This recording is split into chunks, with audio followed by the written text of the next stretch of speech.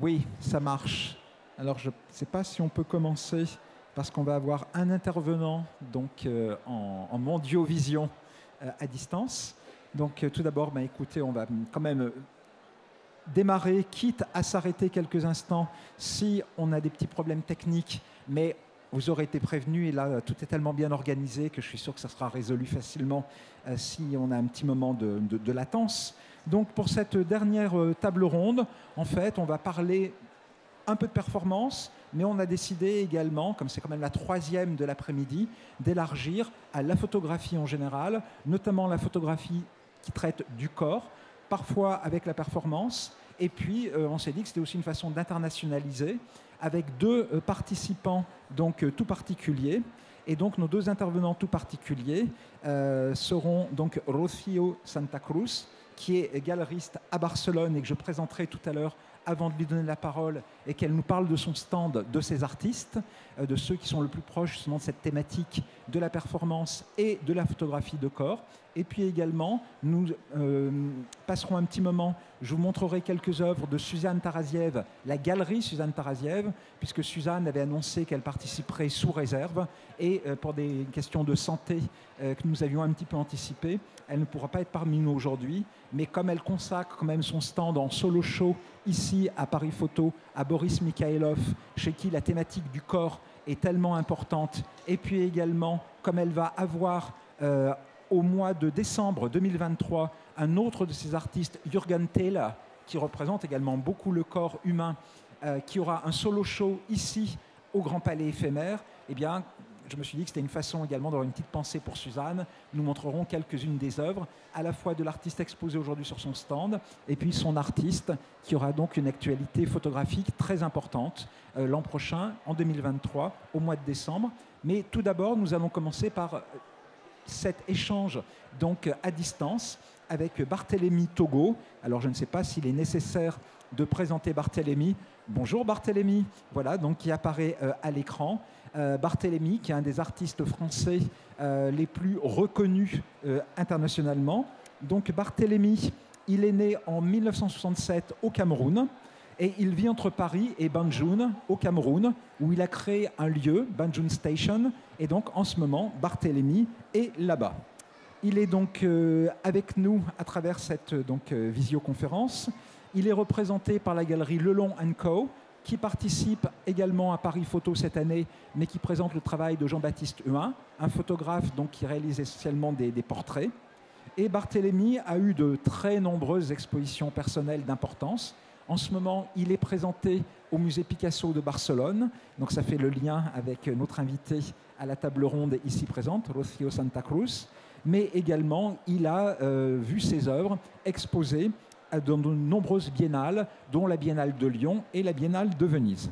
Et après avoir fait des études à l'école des beaux-arts d'Abidjan en Côte d'Ivoire, euh, Barthélemy Togo a été reçu à l'école supérieure d'art de Grenoble où il a continué donc son apprentissage artistique, qu'il a terminé à l'Académie des Beaux-Arts de Düsseldorf, donc une des meilleures universités, un des meilleurs établissements d'enseignement supérieur pour les arts visuels en Allemagne.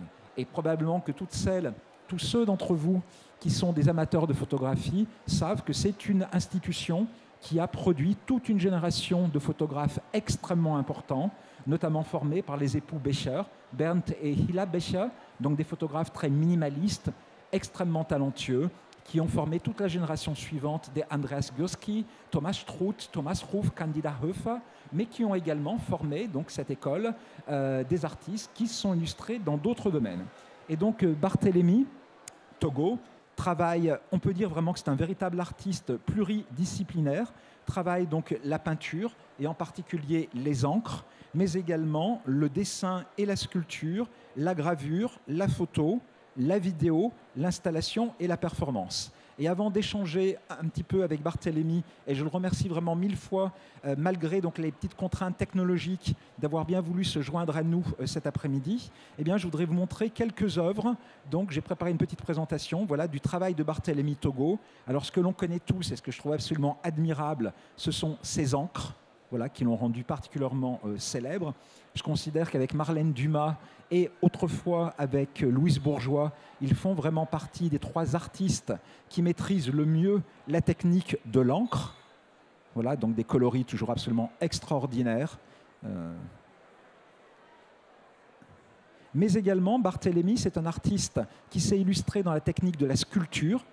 Alors là, des sculptures assez monumentales, notamment en ce moment où l'on a une sous la pyramide du Louvre, dans l'exposition Les Choses de Laurence Bertrand d'Orléac, donc à l'entrée euh, du Louvre. Barthélemy est honoré et nous honore avec cette sculpture, donc qui est une colonne, un petit peu sur le même principe, mais également il réalise des céramiques, donc là des céramiques qui font le lien, bien entendu, avec sa pratique d'artiste pratiquant la technique de l'encre. Là, je crois que c'est une vue des œuvres qu'il avait présentées pour le prix Marcel Duchamp, dont il était l'un des quatre finalistes.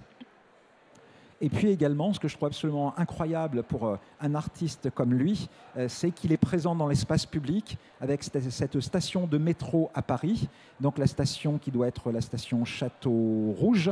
Et je me dis que c'est extraordinaire, un quartier qui est complètement pluriethnique, où on montre effectivement un artiste français d'origine camerounaise euh, qui est complètement intégré donc à la vie du quartier, et puis que les gens puissent être confrontés à des œuvres d'art contemporain belles, accessible, accueillante dans la vie de tous les jours. Voilà, donc à chaque fois que je passe dans cette station de métro, je me réjouis de voir qu'il y a des choix qui sont parfois des choix particulièrement heureux pour intégrer l'art contemporain à la ville, à la cité.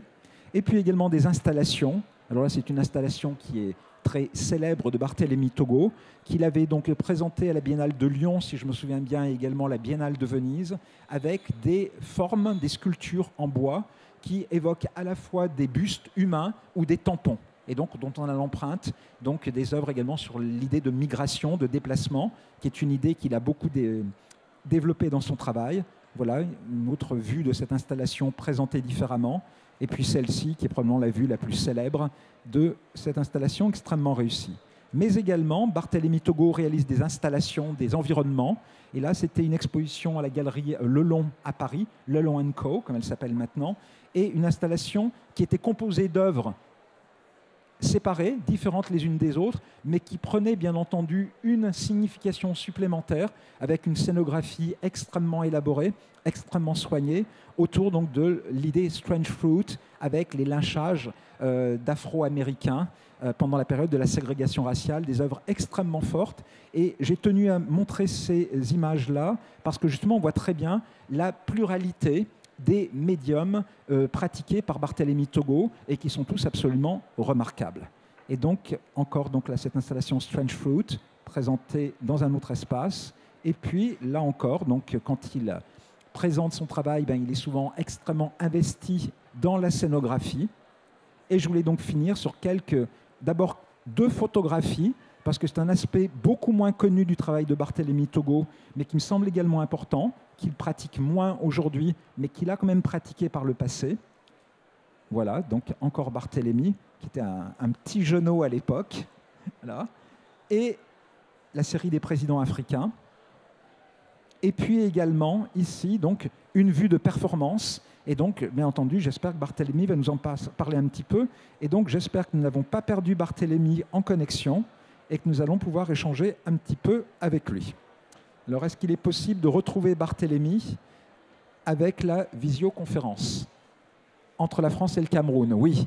Ah voilà, donc Barthélemy est de retour. Voilà, donc Barthélemy, est-ce que tu m'entends convenablement? Allô, allô, Barthélemy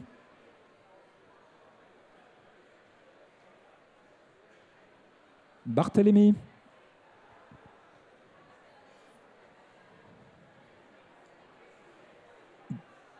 Est-ce que le son nous permet d'échanger?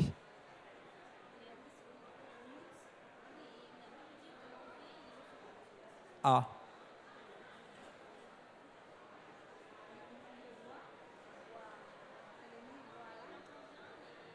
Donc apparemment, Barthélemy m'entend, mais il y aurait un problème avec son micro. Donc lui m'entendrait. Mais alors si Barthélemy m'entend, Barthélemy, est-ce que tu peux activer ton micro ton micro aurait été mis en mode silencieux, mute. Est-ce que tu m'entends? Bon, c'est toujours un petit peu risqué quand on fait comme ça. Une visioconférence? C'est presque une performance, effectivement, comme dit Rossio. Barthélémy, est-ce que tu m'entends? Là, est-ce que tu m'entends? Je vois Barthélemy avec la, télécommande qui essaye d'activer.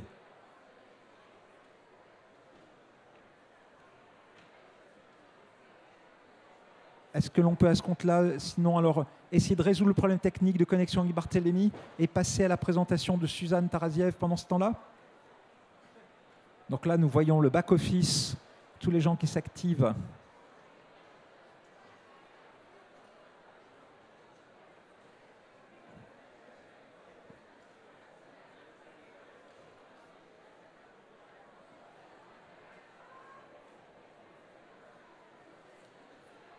Voilà, donc en attendant d'essayer de résoudre les problèmes techniques avec Barthélemy, je voulais simplement avoir quelques mots euh, pour euh, une pensée toute particulière, une pensée affectueuse pour Suzanne Taraziev. Donc, euh, pour dire qu'elle est absente, donc, mais montrer l'exemple donc de travaux des deux artistes photographes principaux qui sont donc des artistes de sa galerie. Donc le stand en B18 où vous pouvez vous rendre après présente Boris Mikhailov, donc Boris Mikhailov, qui est un artiste photographe ukrainien, qui en ce moment, je crois, si l'exposition n'est pas finie, qui est présenté à la Maison européenne de la photographie. Donc n'hésitez pas à aller découvrir cette exposition. Et puis également qui est présenté en solo show au même moment, donc à la galerie Suzanne Taraziev, donc qui doit être rue Pastourelle à Paris, si je ne me trompe pas, en tout cas en plein cœur du Marais. Donc le travail de Boris Mikhailov, qui est un artiste ukrainien, eh bien aujourd'hui, bien entendu, il résonne tout particulièrement. On voit des photos, beaucoup de photographies qui mettent en scène des personnes. Voilà. Donc ça, c'est des images que j'ai empruntées à la Maison européenne de la photographie, donc je les cite. Voilà, et donc ça, c'est une œuvre qui, elle, est exposée à l'entrée actuellement de la galerie Suzanne Taraziev. Donc, euh, ce travail de Boris Mikhailov, donc vous pouvez le découvrir de façon plus détaillée euh, dans l'enceinte de la foire, donc sur le stand B18. Voilà, donc n'hésitez pas à y aller. Et vous verrez qu'il y a des tas de petits formats. Euh, je peux même indiquer les prix euh, qui sont à quelques milliers d'euros et peut-être même parfois même pas au pluriel quand on parle de milliers d'euros pour des tout petits formats, donc de Boris Mikhailov, des œuvres originales. Et donc c'est l'un des plus grands photographes de notre époque, bien entendu. Et puis l'autre artiste qui est un artiste également emblématique de Suzanne Taraziev, c'est Jürgen Taylor. Donc, je vous disais que c'est un artiste également extrêmement reconnu, euh, un artiste qui est connu pour ses photos toujours un peu provocatrices, qui a complètement renouvelé le genre de la photographie de mode et qui sera donc à l'honneur ici au Grand Palais donc l'an prochain. Donc vous voyez également par rapport au corps de l'artiste, Jürgen Taylor était complètement euh, en phase avec notre thématique et c'est pourquoi j'avais pensé à inviter Suzanne Taraziev pour qu'elle nous en parle. Voyez encore donc ces photos toujours un peu trash de Jürgen Teller, un peu provocatrice, voilà, qui lors d'un vernissage chez Suzanne Taraziev était même arrivé monté sur un cheval blanc à l'intérieur de la galerie, mais il est capable de toutes les excentricités. Encore Jürgen Teller, voilà, donc Jürgen Teller et ses amis, des photographies un peu iconiques, également des photographies de célébrités qu'ils ne mettent pas toujours exactement à leur avantage avec Kate Moss, Christine Scott Thomas, et donc les personnalités se prêtent au jeu, ou bien Kim Kardashian. Voilà, donc vous voyez, encore avec une esthétique quand même un petit peu provocatrice, bien entendu. Encore Kim Kardashian vue par Jürgen Taylor. Et puis également, donc Suzanne Taraziev, pour laquelle j'ai cette pensée toute particulière, avec Jürgen Teller et avec son épouse. Donc il avait présenté une dernière série, la dernière exposition de Jürgen Teller, dans laquelle il se mettait en scène avec son épouse, et puis également des photos iconiques de Suzanne, euh, qui ne recule devant rien pour euh, faire plaisir à ses artistes. Cette photo-ci, donc, avec Suzanne en manteau en fourrure, et celle-ci également extrêmement connue, qui est parue donc dans Vogue Italie, dans laquelle Suzanne, donc sur l'île d'Hydra en Grèce, souhaitait la bienvenue aux réfugiés. Refugees Welcome. Voilà, donc c'est un travail photographique assez choc, assez impactant, que le travail de Jürgen Teller. Voilà, donc cette pensée pour euh, Suzanne Taraziev et euh, l'invitation donc d'aller visiter le stand de la galerie. Et j'espère que maintenant nous allons pouvoir récupérer Barthélemy Togo en duo avec le Cameroun. Marguerite m'a dit que non. Bon. Alors on verra, d'accord. Écoutez, on va essayer. Euh, donc merci beaucoup Marguerite. Euh, on va essayer donc de voir si on peut récupérer Barthélemy, parce que je considère que c'est un artiste très intéressant, et justement avec cette part de la photographie et de la performance dans son travail qui est euh, un petit peu liminal, qu'il était intéressant de discuter avec lui. Et donc, ben, ce que je propose maintenant, c'est de passer à la présentation de Rocio Santa Cruz, qui va donc nous dire un petit peu quel est son travail donc à Barcelone auprès donc de, son public et puis euh, local et à travers les foires. Donc Rocio Santa Cruz est une galerie barcelonaise située Gran Via.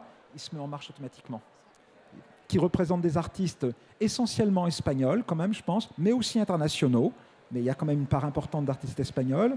Une trentaine d'artistes tels que Colita, Jean Denant, le plus connu probablement Miguel Rio Branco, voilà, qui est quand même une, star euh, de l'art contemporain, ou Kalile, et dont la photographie constitue le médium de prédilection euh, de nombreux de tes artistes. C'est une galerie avec un fort ADN euh, en photographie.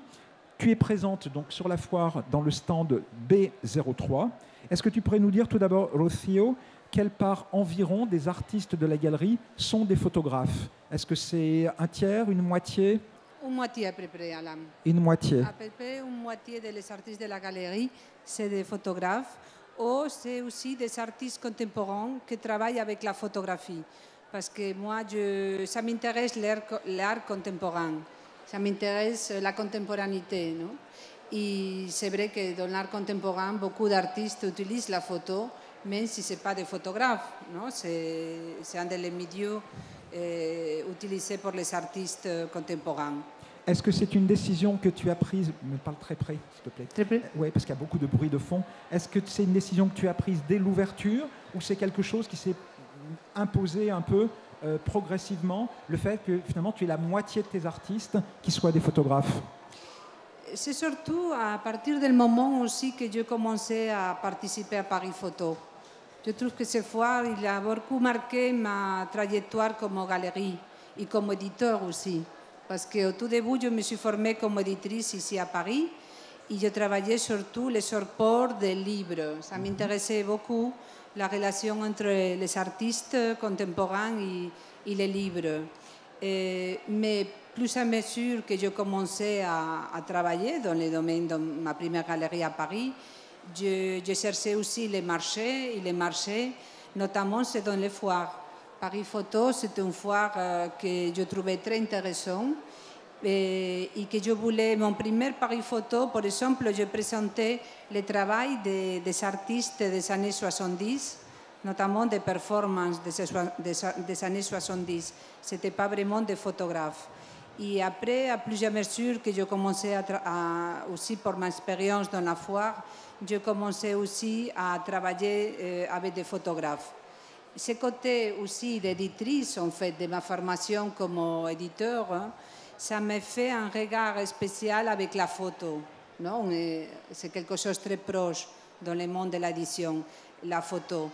Et surtout, euh, depuis 2001, euh, que je fais un travail sur l'archive photographique de Julio Cortázar, l'écrivain euh, que vous connaissez, l'écrivain argentin, qu'il avait vécu à Paris euh, longtemps. Et je tombais un petit peu par hasard sur son archive photographique. Cortázar, c'était un grand amateur de photos et de cinéma expérimental. J'ai eu la chance de pouvoir euh, travailler sur ces fonds. Et là, ça, donnait, ça, ça a eu une grande exposition à la, euh, eh, Maison de l'Amérique latine et en grande itinérance euh, pour plusieurs pays. Et, et j'ai commencé aussi, ça m'intéressait les archives, en fait. Tout début, c'était Cortázar. Mais après, d'un voyage, j'étais dans un voyage en Brésil, à la Biennale de São Paulo, et dans une galerie, j'ai trouvé euh, une exposition d'un photographe, Marcel Giraud, que je trouvais formidable.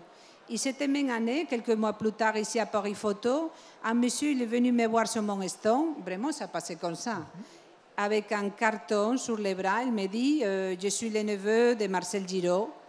Et je dis, ah oui, je viens de voir un grand expo de Marcel Giraud, c'est un grand, photographe brésilien. Elle me dit, oui, mais mon oncle, il est né à Barcelone. Et moi, j'ai en Barcelone tout l'archive, je ne sais pas que faire avec ça. Je l'ai montré à les musées, les musées, euh, ils n'ont pas le temps de me recevoir. Il m'a montré quelques tirages magnifiques, comme quelques-uns que j'ai à ce moment dans, dans mon stock. Et je dis, mais vous savez, oui, je, je commençais à, étudier cette archive que ça me fait, euh, fait aller en, en Brésil souvent, où il avait vraiment, dans les musées de São Paulo, il avait une partie importante de son travail. Et aussi, on a découvert que sa femme, que eh, voilà, les deux, ils étaient morts depuis longtemps, et c'était la famille qui gérait l'archive, mais elle croyait que, que la femme, ne faisait pas de photos, de photos comme souvent ça arrivait, c'était sa compagne, il avait, c'était sa mousse. Et Noël, il était un photographe aussi. Et on a fait un grand travail de recherche.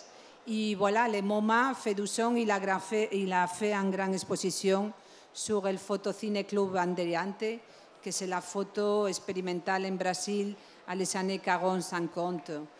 Et tout ça, ça m'a amené à travailler sur, sur les archives aussi. C'est pour ça que je vous voulais vous montrer quelques photos. Je, Alain, si tu veux, je... Là, c'était une autre découverte. En fait. L'idée, simplement, Rossio, c'est qu'effectivement, tu as une galerie qui est très identifiée à la photographie en particulier, à la photographie un peu historique, beaucoup d'artistes des années 40, 50, 60, 70, moins à l'hyper contemporain quand même. À moi, ça m'intéresse beaucoup l'archive, mais toujours les mettre en rapport avec les contemporains. Mm -hmm. pas unique, je ne suis pas une galerie euh, de, de, de, photos de, historiques, non, je suis une galerie d'art contemporain.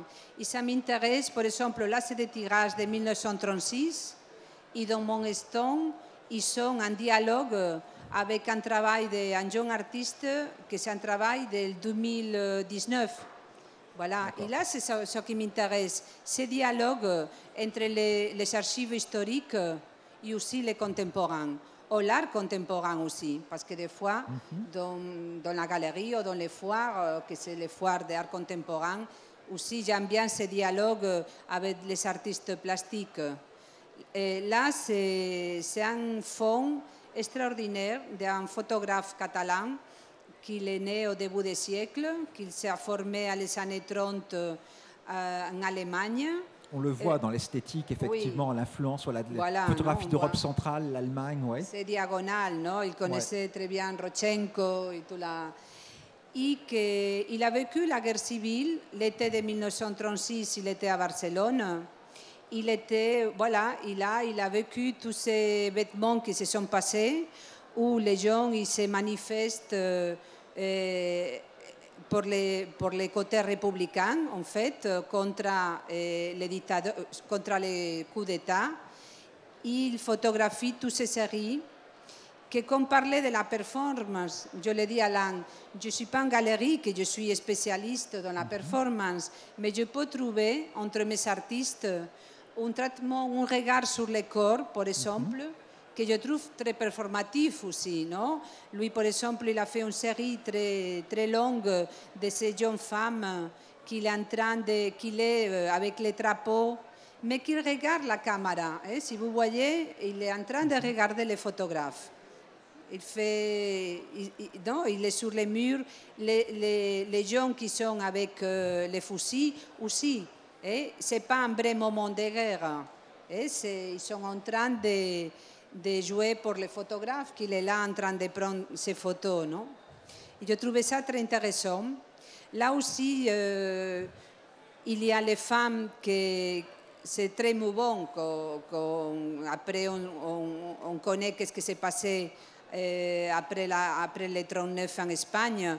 On voit comment les femmes aussi euh, s'engagent dans l'armée républicaine, et même il, il, marche avec les bébés non, sur les bras, ou il marche ici à côté des hommes, avec talons. Non, c'est muy bon, non, ces images, que c'est aussi très performatif. Non, très, il y a du mouvement, il y a tous ces...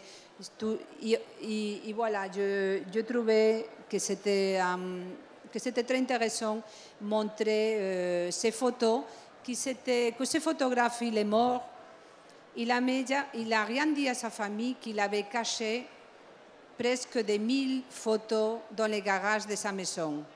Lui, il est mort en 89 et depuis 39, à la fin de la guerre civile, il a caché les photos. Il n'a pas voulu les montrer. Pourquoi Surtout? Parce qu'après euh, Franco, les 39, on allait chercher les gens, on les reconnaît sur les photos et on allait les chercher. Et lui, il les a caché les photos. Il fait quatre ans, la famille il a vendu la maison. Ils ont vidé euh, totalement la maison, les garages. Ils ont trouvé un petit trou dans les garages. Et là, il a eu, ils ont trouvé tous ces fonds que c'est vraiment euh, un trésor, que c'est, que c'est un regard, qu'on connaît le regard de Robert Capa, Gertataro, non? Et qu'on retrouve un autre regard aussi, très intéressant, parce que Campagna, c'était vraiment un grand photographe, un artiste. Voilà, là, on voit comment... Le il travail faut- sur les ombres également, oui, sur le les mouvement. ombres. Les ombres, c'est un sujet très important toujours pour Campagna. Après, je vous montrerai une photo euh, d'avant la guerre civile. C'était quelqu'un qui était très touché par la guerre. Jamais il s'est refait. Il était défait après les 39. En plus, c'était quelqu'un qui était très, très ré- répar- euh. Ouais. Il n'avait pas le droit de faire des photos, de faire du journalisme, et que voilà, il a, il a jamais parlé à personne de, de tout ce travail qu'il a fait, qu'il était, beaucoup de ses photos se sont publiées euh, dans les journaux internationaux, notamment en France, en Allemagne. On voit ça ici, très intéressant, non? On le voit, sur l'ombre, vraiment voilà, on voit On l'ombre, ouais. on voit les messieurs, la voiture, non? Le, le angle de la rue aussi, non? Mhm. Et ça, c'est des photos euh, quelques années plus tard, encore les ombres, non? D'accord. Est-ce que tu peux nous montrer également le travail de femmes photographes Oui. Parce que ce qui m'a beaucoup frappé également dans la ligne de ta galerie, Oui. c'est que alors que les femmes ont parfois du mal à s'intégrer, Oui. toi, tu en as intégré un nombre important et dont tu montres qu'elles étaient là dès les années 50, dès les années 60 Oui. et que tu défends avec beaucoup de vigueur. Oui, oui, oui. Je te montre rapidement euh, ce travail pour simplement euh, parler de que ça m'intéresse l'historique, mais toujours en rapport au contemporain. Et là, c'est cet artiste euh, qui est né après Franco. Il n'était pas du tout euh, vinculé ni à Franco, ni à la transition. Et c'est quelqu'un qui a fait un travail sur l'endroit où Franco il était mort. Il était enterré, pardon, pendant jusqu'à 1919. Et lui, il a fait un travail de plus, de, pendant des années, de 2011 à 2014. Il a photographié les gens qui allaient laisser des fleurs à Franco, Flowers for Franco. C'est un livre, c'est un projet qui existe comme livre. Et ça, ça m'intéressait beaucoup aussi. Les artistes et les photographes qui travaillent aussi le format libre avant de penser à faire un tirage ou faire une exposition. Et là, c'était un livre qui était, en 2019, il était choisi pour le Journal Times comme un des 30 meilleurs euh, photolivres de l'année. Et c'est vraiment intéressant si vous voulez le voir. Et c'est euh, Flowers for Franco, c'est une référence al livre de Leonard Cohen, Flowers for Hitler, non? qu'il est très connu. Et voilà, je- ici, il y a aussi un sort de, de performance, de, c'est un photographe qui aime bien, eh, comme disait Berger, non? John Berger, qu'il parlait de la photographie, qu'il parlait de la caméra, del sujet et del photographe. Non? Et, eh, Tony Campagnal se sont très identifiés. C'est quelqu'un qui est, voilà, là c'est la nature, et là c'est la... Très belle aussi. ouais. Et là c'est les femmes que tu parlais, Alain. Colita, c'était une femme photographe. Pardon. Non, non, je t'en prie, justement. Alors, c'est ça qui est intéressant dans ta galerie, c'est qu'on Oui. découvre également des artistes importantes, euh, et notamment des femmes photographes, alors que ce n'a pas été facile pour les femmes photographes de s'imposer. Donc là, est-ce que tu peux nous parler un petit peu, nous montrer justement le travail de Colita? Oui, Colita, c'est une, une femme photographe qui n'est pas connue du tout en France. Et on connaît quelques photographes euh, de la même époque, de l'école de Barcelone, eh, Catala Roca, Joan Colom, Miserage. Mais Colita, qui était à Monton, on ne la connaît pas. On disait toujours, non, Colita, bon, il est il est, gentil, non Il n'était pas considéré à même statut que tous ces hommes photographes. Maintenant, heureusement, ça, c'est en- train de changer et on voit, euh, on voit vraiment le travail de Colita. Mais à moi, ça m'intéresse beaucoup parce que c'est une femme qui regarde toujours les femmes, c'est-à-dire ce qui l'intéresse, c'est les femmes, mais on voit aussi le regard des hommes vers les femmes. Et là, c'est un triangle aussi. C'est les femmes et, la- et le regard des hommes vers les femmes. Là, c'est des photos des, des quartiers euh, chauds de Barcelone, del Raval, del Barrio Chino. Il photographie toujours avec beaucoup aussi d'humour, comme ce monsieur qui est en train de, de dire quelque chose à ces dames. Non, il y a toujours cet humour. Là, c'était les, les- voilà, les affiches euh, pour le cinéma ou pour les spectacles. Surtout, c'est les années 70, et c'est les années 70, fin des 70, c'est-à-dire les derniers moments du franquisme. C'était un moment aussi euh, que la censure euh, il disparaissait et que vraiment on, trouvait euh, ces regards, mais aussi très, très machistes sur les femmes. Non Là, c'est des prostituées aussi al quartier, al Raval de Barcelona, et on voit toujours ces regards de ces hommes vers les femmes. Joan Colom, qui, est, c'est un photographe que vous pourrez voir euh, dans les centres Pompidou, qu'il y a un, très bon euh, fond de John Colom. Il y a presque les mêmes photos del Raval, mais on ne voit pas les hommes. C'est curieux. On voit uniquement les femmes, non? Voilà, ils sont là encore. C'est très belle, ouais, aussi, avec la, Voilà. la ligne des prostituées. Là aussi, là j'adore parce que tu vois derrière euh, ces regards de ces hommes, non? C'est un prostitué aussi.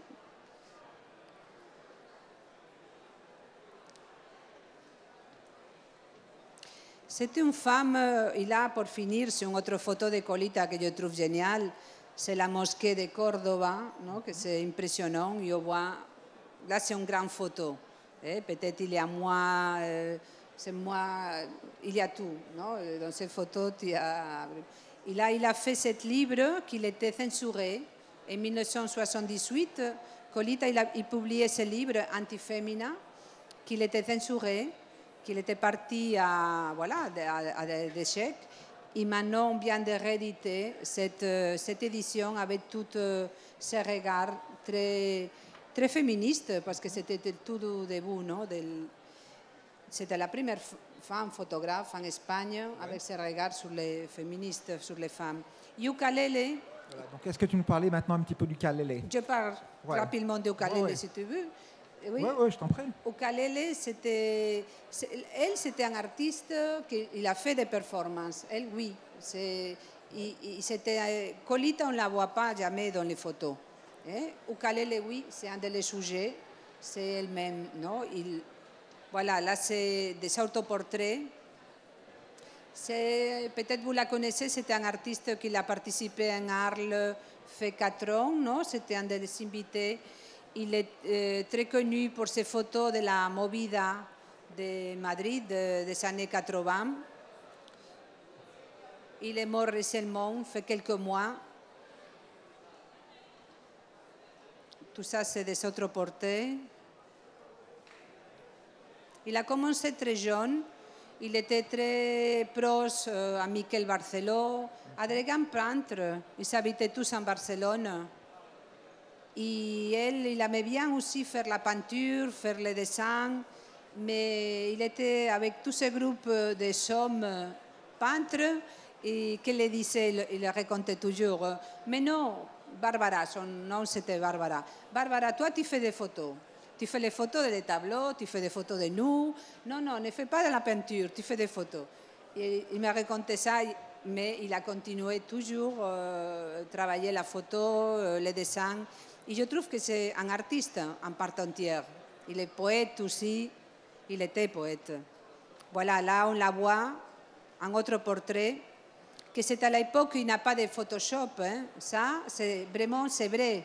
Il bougeait la coupe, et il l'a, avec les cigarettes. Regarde les cigarettes.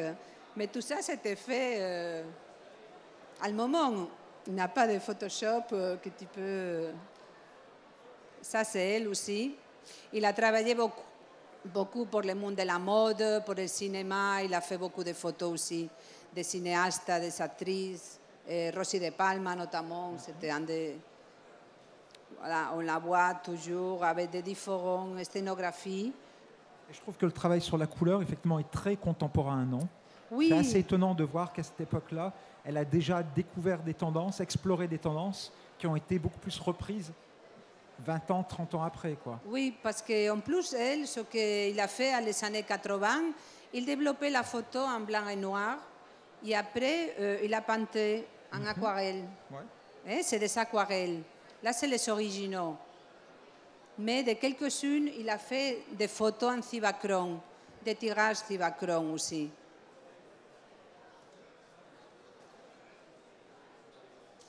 Là, c'était la plus connue, que c'était la- l'affiche du festival de Arles. Et voilà, c'est c'est elle que... C'est la série de coiffures. En fait, euh, c'est pas, c'est pas uniquement elle-même euh, son sujet, sinon qu'il a aussi ses amis, sa concierge. On voit souvent Madrid aussi, parce que c'est souvent des photos qui sont prises depuis sa terrasse.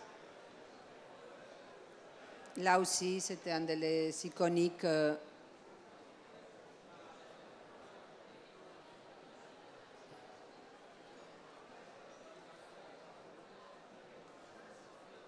Ah, là c'est la même.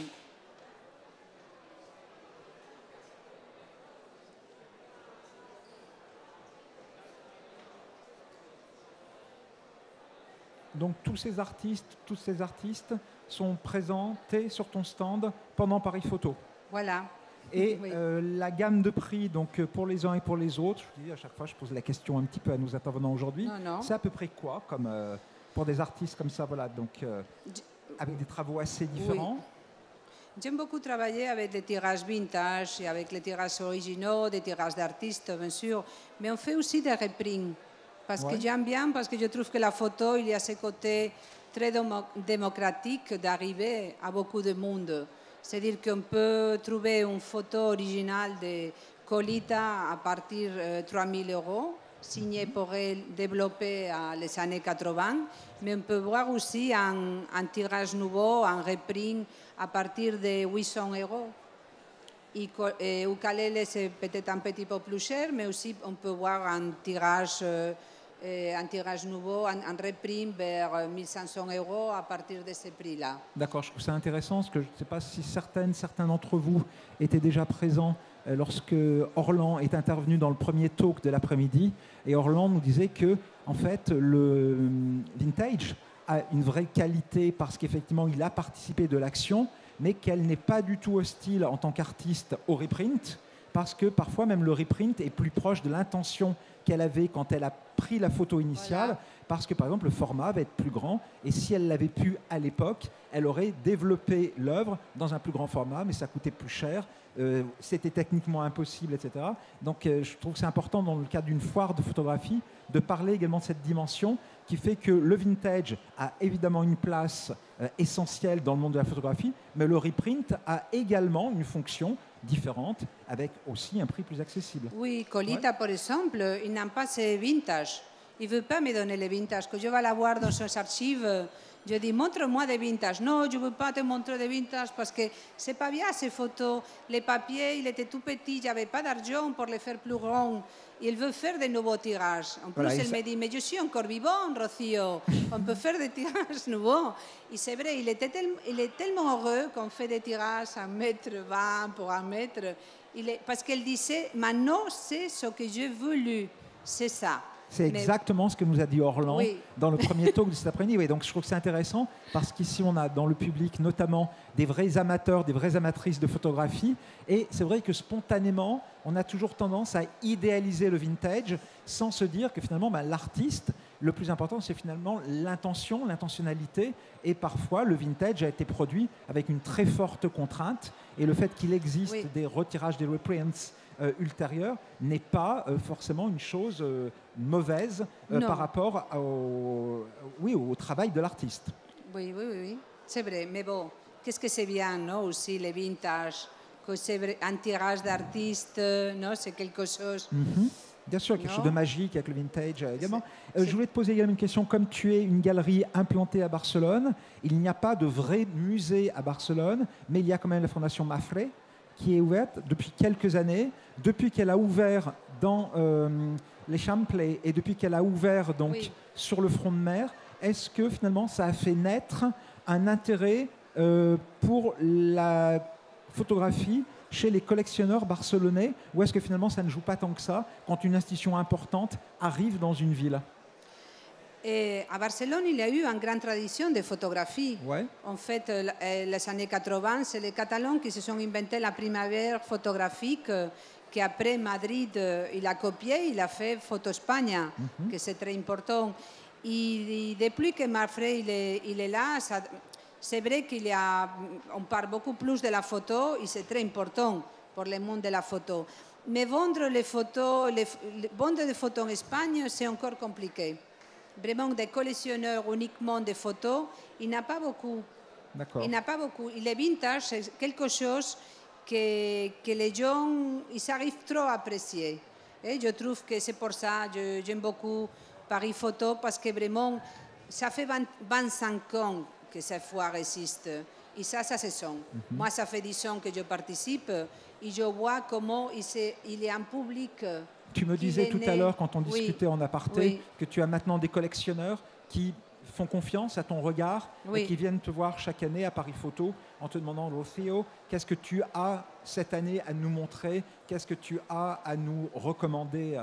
Voilà, et ça c'est formidable aussi, parce que c'est vrai que la galerie, euh, c'est le regard des galeristes. On parlait avant de Suzanne Travessière. Ouais. Suzanne, pour moi, c'est, c'est dommage qu'il ne soit pas ici, parce que je l'admire énormément, j'adore toujours ses, ses stones, sa galerie à Paris, et c'est son regard. On va voir qu'est-ce qu'il montre Suzanne. Non, pour une galerie euh, arriver à ça, euh, c'est vraiment euh, c'est que on est en train de faire un bon travail. D'accord. Bah écoute, merci mille fois Rocio. Donc j'invite les gens à aller découvrir le travail de tes artistes sur le stand donc B03 et on va faire une dernière tentative maintenant pour voir si l'on réussit à avoir euh, Barthélemy Togo ou alors si on est obligé d'y renoncer et de s'arrêter là pour ce soir. Je regarde du côté de la, la technique de la régie. Voilà, il est là.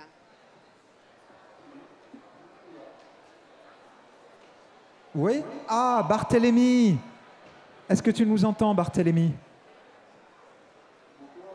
Bonsoir, Barthélemy. Alors, je ne sais pas si on pourrait monter un petit peu le son donc, de, de Barthélemy Togo, donc, qui est à Banjul, euh, donc, dans le lieu qu'il a créé au Cameroun. Barthélemy, tu nous entends? Merveilleux. Voilà, donc euh, ça me fait très plaisir d'avoir Barthélemy euh, en ligne. Barthélemy, euh, simplement, on va passer 5-10 minutes avec toi parce que le son risque d'être un petit peu problématique. Est-ce que tu peux nous dire, j'ai rappelé dans ta présentation que tu avais été formé en Côte d'Ivoire, en France, puis en Allemagne. Quelle a été la place de l'enseignement en photographie, puisque tu es quand même devenu majoritairement un peintre, mais quelle était la place de l'enseignement en photographie en Côte d'Ivoire, à Grenoble et à Düsseldorf, où on sait que normalement la tradition photographique, elle est euh, extrêmement présente. Donc comment est-ce que ça t'a marqué en tant qu'artiste, cette formation ou non-formation que tu as reçue dans ce médium dans les trois pays?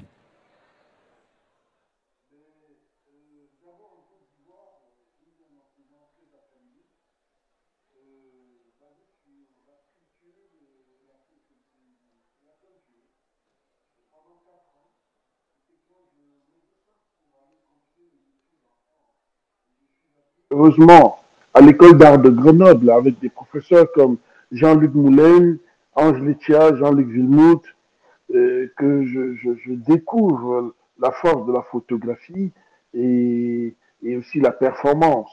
Et là, je m'y mets. Et en 1993, quand je suis étudiant à Grenoble, je fais la série une autre vie où je me mets en scène dans des troncs d'arbres que j'ai récupérés à la ville de, de, Grenoble et je, je, crée une série de photographies euh, que je retourne au Cameroun pour protester euh, contre euh, l'exploitation sauvage de la forêt et, la destruction de, de, de, des arbres, ainsi de suite.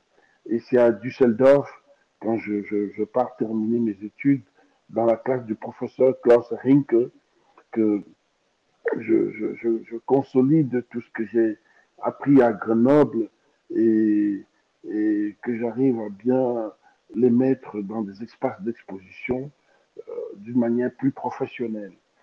donc, euh, j'ai beaucoup été enrichi par ce que j'ai eu à découvrir à Grenoble, euh, qui est surtout sur la photographie et aussi sur Internet, sur Photoshop, comment je pouvais aussi transformer ces photos ou redonner d'autres interprétations sur ces photos. Donc j'ai beaucoup plus appris à Grenoble, euh, et qui était vraiment euh, une école d'avant-garde pour l'art contemporain en France.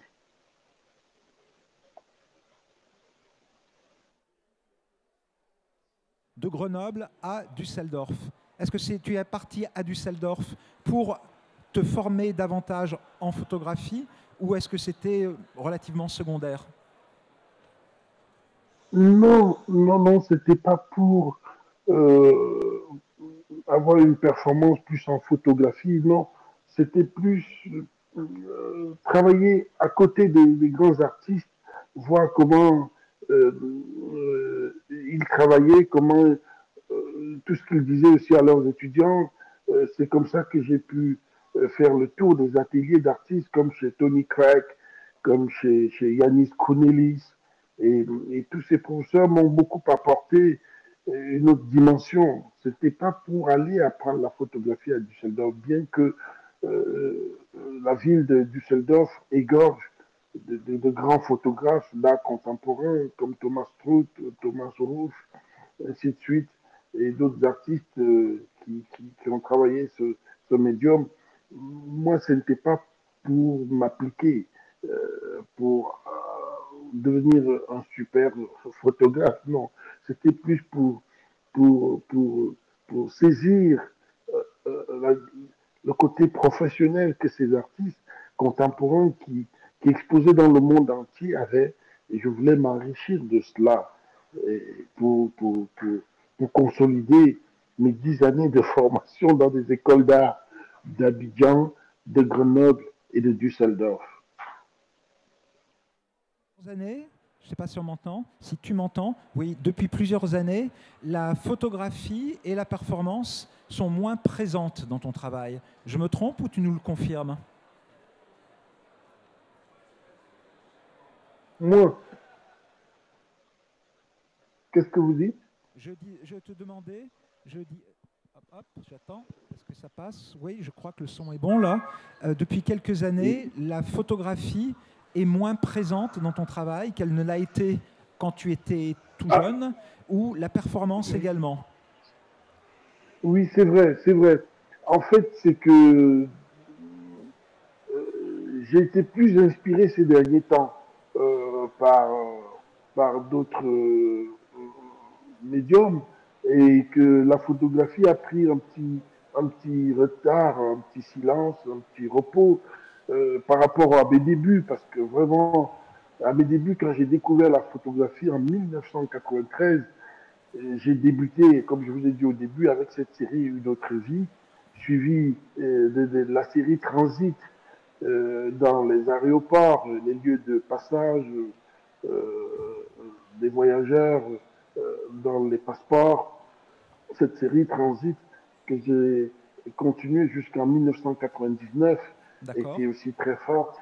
Et aussi la série Stupid African President, qui était des, des, des mises en scène euh, de performance au même moment, mais des mises en scène, puisque j'ai essayé de jouer le rôle d'un stupide African president et je restituais ce travail par la photographie. Et par la suite, plus la sculpture et la peinture a pris le dessus, mais je me dis que je vais certainement y revenir dès que des nouvelles bonnes idées vont revenir. Je vais reprendre la photographie. En fait, euh, je fais la photographie qu'au moment où j'ai, à l'instant, des très bonnes idées, où je comprends que c'est avec la photographie que je vais mieux exprimer ce que je, je veux dire. Et là, je fais la photographie à ce moment. Et donc, depuis une décennie, euh, la peinture et la sculpture. Euh, L'installation aussi, oui. L'installation, oui, ont pris plus de, d'envergure et que euh, la photographie a été un peu ralentie, mais c'est pas pour autant que j'ai laissé de la que j'ai laissé la photographie, non plus la performance. D'ailleurs, j'en prépare une performance au musée Picasso au mois de, février pour la fin de mon exposition au musée Picasso. Et, et, je reviens à chaque fois sur, sur, sur des, des, médiums, des, techniques que j'ai eu à, à, apprendre pendant ma formation artistique. Et la photographie, je ne vais pas la laisser. D'accord, donc tu nous confirmes que si on vient te voir en février à Barcelone au musée Picasso, Rocio et moi, on a toutes les chances de te voir donc effectuer une nouvelle performance. Exactement, et, qui sera restituée par l'acte euh, physique que je vais euh, réaliser devant les spectateurs en direct. D'accord. Bah, écoute, je te remercie beaucoup, Barthélémy. Merci mille fois d'avoir résolu les petits problèmes techniques euh, qu'on avait pour euh, te contacter euh, au Cameroun. Et puis, bien, je te dis à très bientôt. Et je vous remercie toutes et tous. Merci également à Rocío Santa Cruz pour sa participation. Merci à Paris Photo également. Et merci à chacune et à, chacun pour votre présence. Bonne soirée. Oh